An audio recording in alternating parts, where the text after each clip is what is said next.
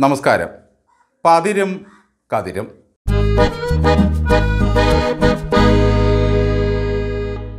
കാക്കയുടെ വായിൽ ദഹിക്കാത്തതായി ഒന്നുമില്ല.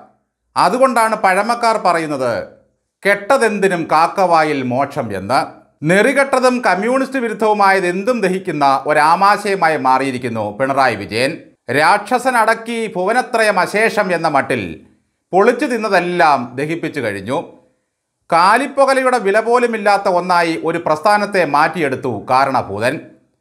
പിതാവിന്റെ നട്ടൽ വലിച്ചൂരി പകടയുണ്ടാക്കിയ ശകുനിയെപ്പോലെ പാർട്ടിയുടെ കശേരിക്കൾ ഒന്നൊന്നായി ഊരിയെടുത്ത് പിണറായി വിജയൻ പകിട കളിക്കുകയാണ്. മഹർഷിമാരുടെ ശാപം കൊണ്ട് മുതലകളായി തീർന്ന പാപികളെപ്പറ്റി നമ്മൾ കേട്ടിട്ടുണ്ട്. അങ്ങനെ ശാപം കിട്ടിയ കുറേ പാവികൾ അടിമകളായി ഈ പ്രസ്ഥാനത്തിൽ പിറവിയെടുത്തതാണ് പിണറായി വിജയന്റെ ഏറ്റവും വലിയ സൗഭാഗ്യങ്ങൾ. പി ആറോ എനിക്കോ? എന്നെ ഈ നാടിന് അറിയില്ലേ എന്ന് നാല് കൊല്ലം മുമ്പ് ചോദിച്ച മുഖ്യമന്ത്രിയാണിപ്പോൾ. പി ആറുകാർ ഒപ്പിച്ചു കൊടുത്ത ഒരു അഭിമുഖത്തിൽ കിടന്ന് കയ്യും കാലും അടിക്കുന്നത്. ഹിന്ദുവിൽ അച്ചടിച്ചു വന്നത് ഞാൻ പറയാത്ത കാര്യമാണത്രേ. അങ്ങനെ പി ആറുകാർക്ക് കൂട്ടിച്ചേർക്കാനും തോന്നിയാസം എഴുതി പിടിപ്പിക്കാനും ഒരു ടൂളായി എന്തിനീ മുഖ്യമന്ത്രി നിന്നു കൊടുക്കുന്നു? ബി ജെ പിയെ സന്തോഷിപ്പിക്കാൻ മലപ്പുറം ജില്ലയെയും മുസ്ലിം സമൂഹത്തെയും ദേശവിരുദ്ധരാക്കിയെന്നാണ് ഇപ്പോഴത്തെ ആരോപണം. ചോദിച്ചാൽ പറയും എന്റെ മരുമകനും മുസ്ലിം അല്ലേ എന്ന്. മകളുടെ ഭർത്താവ് മുസ്ലിമാണ് എന്ന് പറഞ്ഞിട്ട് വല്ല കാര്യവുമുണ്ടോ? അതുകൊണ്ടാണ് അൻവർ ചോദിച്ചത് മരമോൻ മാത്രം മതിയോ എന്ന്. അകത്തും പുറത്തും ഇപ്പോൾ പി ആർ വർക്കുകാർ മാത്രമേ ഉള്ളൂ. നിലാവ് നോക്കി ഓരിയിടാൻ കുറേ അടിമകൾ പുറത്തുമുണ്ട്. ഇതാണ് അവസ്ഥ. കേരളത്തിൽ ഇത്രമാത്രം അടിമകൾ സ്വന്തമായിട്ടുള്ള ഒരു ഉടമ വേറെയില്ല. അടിമകളിൽ പലർക്കും പി എച്ച് ഡി വരെ ഉണ്ടെന്നാണ് ട്രോളുകാരുടെ കണ്ടുപിടുത്തം. പി ആർ വർക്കുകാർ കാറ്റടിച്ച് വീർപ്പിക്കുന്ന ബ്ലാഡർ പഴകിയ പന്ത് മാത്രമാണ് ഇപ്പോൾ പിണറായി വിജയൻ. അവരെങ്ങോട്ടടിക്കുന്നോ അങ്ങോട്ട് പോകും. കേരളത്തിലെ മാധ്യമങ്ങളോട് ഏറെക്കാലത്തിനു ശേഷം പിണറായി വിജയൻ ഒന്ന് ചിരിച്ചത്. ഒരേ സമയത്ത് രണ്ട് പോർമുഖങ്ങൾ അപകടമാണെന്ന തിരിച്ചറിവ് കൊണ്ടാണ്.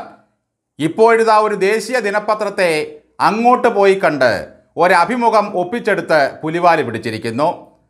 പ്രസ് സെക്രട്ടറിയായി മഹാകവിയായ പ്രഭാവർമ്മ വരെയുള്ള മുഖ്യനാണിത്. എന്നിട്ടാണ് കൂലി എഴുത്തുകാരെ തേടേണ്ടി വന്നത്. ഖജനാവിൽ നിന്നും തീറ്റക്കൂലിയും ചെലവുമിനത്തിൽ പന്ത്രണ്ട് ലക്ഷത്തിലധികം ശമ്പളമായി കൊടുത്ത് സ്വന്തം വകുപ്പിൽ ആളെ വെച്ച മുഖ്യമന്ത്രിയാണ് പി ആർ ഏജൻസിയെ തേടിപ്പോയത്.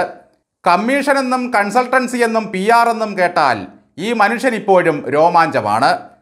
പി ആർ വർക്കുകാർ പറഞ്ഞിളക്കി ലോകം ചുറ്റാൻ വിട്ട വകയിൽ ഒരു കോടിയുടെ വണ്ടി ഒരെണ്ണം ക്ലിഫ് ഹൗസിലെ കോഴിക്കൂടായി ഉപയോഗിക്കാവുന്നതാണ്.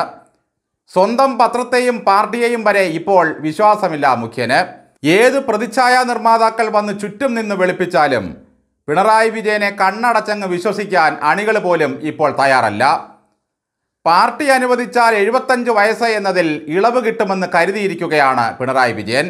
മൂന്നാം വട്ടവും ഭരിക്കാൻ വരാൻ എന്തോന്ന് പാർട്ടി? കട്ടിലിൽ കിടക്കുന്ന കാലത്തും ഞാൻ ഭരിച്ചോളാമെന്ന് പിണറായി വിജയൻ പറഞ്ഞാൽ പാർട്ടി പ്രായപരിധി തൊണ്ണൂറ്റഞ്ചാക്കി കൊടുക്കും. ഞാൻ ഭരിച്ചാലേ ഭരൂ എന്ന് പിണറായി വിശ്വസിക്കുന്നു. മൂന്നാം ഭരണത്തിലും ഇടതു സർക്കാരിലെ ക്യാപ്റ്റൻ പിണറായി വിജയൻ തന്നെയാണോ എന്ന് ചോദിച്ചാൽ ഗോവിന്ദൻ പറയുന്നതാണ് രസം.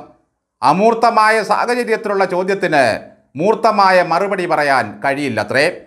ഗോവിന്ദൻ ഇപ്പോൾ മാഷല്ല പാർട്ടിയിലെ അമൂർത്താനന്ദ സ്വാമിയാണ്.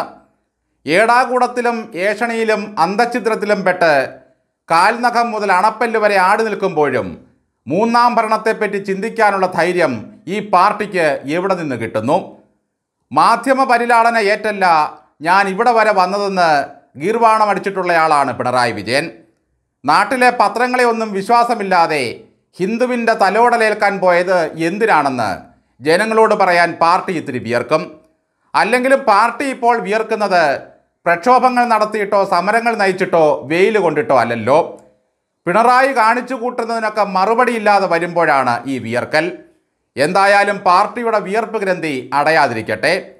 മുഖ്യമന്ത്രി പി ആർ വഴി ദേശീയ പത്രത്തിന് കൊടുത്ത അഭിമുഖത്തിന്റെ ടെസ്റ്റ് ഒന്ന് വായിച്ചു നോക്കാൻ പോലും എന്തുകൊണ്ടാണ് പ്രസ് സെക്രട്ടറിയായ പ്രഭാവർമ്മയ്ക്ക് കഴിയാതെ പോയത്? അല്ലെങ്കിൽ അദ്ദേഹത്തെ ഏൽപ്പിക്കാതിരുന്നത് എന്തുകൊണ്ടാണ്? വർമ്മയുടെ പ്രഭയൊക്കെ വറ്റിപ്പോയോ? ശ്യാമമാധവം എഴുതിയ വർമ്മ പിണറായി ശോഭനം എന്ന ഖണ്ഡകാവ്യത്തിന്റെ തിരക്കിലായിരിക്കും.